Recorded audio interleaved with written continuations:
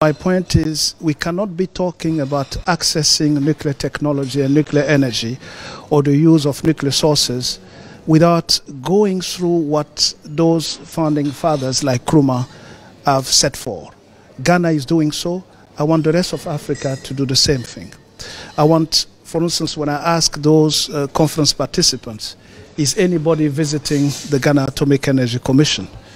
They say no it would have been good for them to see how Ghana use nuclear energy, nuclear technology for agriculture, uh, the use of nuclear sources for cancer therapy, and then where Ghana has a vision to go, the use of nuclear energy that Ghana is doing within the context of ECOWAS, which should be commended. See uh, this commission active in Vienna with the International Atomic Energy Commission, and at the same time being in line with the set of treaties uh, that govern uh, the access to nuclear technology and nuclear energy, including the Pelindaba Treaty, as we mentioned, that make Africa a nuclear weapon free zone, but a zone that seek the use of nuclear technology and nuclear energy.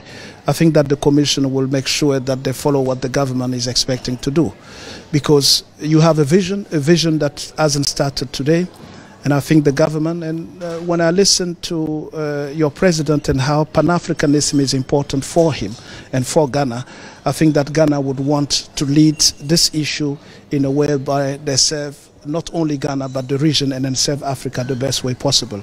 And I think the government should be, and Ghana should be commended for that.